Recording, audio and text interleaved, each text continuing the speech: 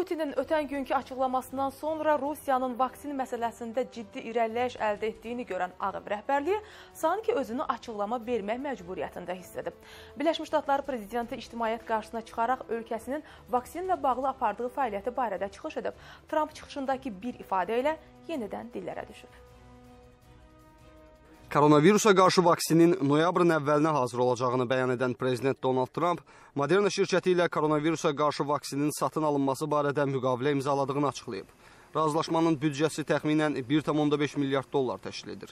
Ağ Ev rəhbəri brifinqdə çıxışı zamanı Birləşmiş Ştatlarda hazırlanan digər vaksinlərin də nəticələrinin ümidverici olduğunu deyib.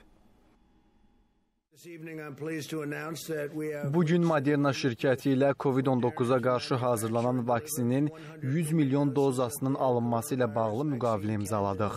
Peyvəndi qeydiyyatdan keçdikdən sonra almağı nəzərdə tuturuq. Artıq Birləşmiş Ştatlara aid 3 vaksin 3-cü, sonuncu sınaq mərhələsindədir. Hər 3 peyvəndin mükəmməl nəticələr verəcəyinə əminəm.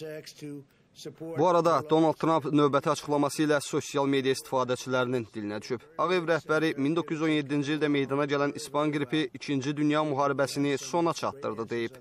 Birinci və ikinci Dünya müharibələrinin tarixini səhv salan Trumpa sosial media istifadəçiləri tarixi xatırla, tarixi qarışdırma məzmunlu şərhlər yazıblar.